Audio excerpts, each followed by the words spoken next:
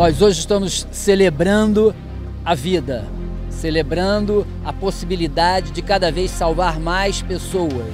E isso tudo através da prevenção. É muito importante é, que a gente evite o afogamento.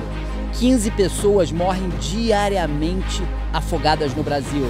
Dentre elas, a maioria são crianças, até 18 anos mais ou menos. Tá? Afogamento é a segunda causa de morte de 1 a 4 anos, terceira de 5 a 9 anos de idade e quarta de 15 a 21 anos de idade.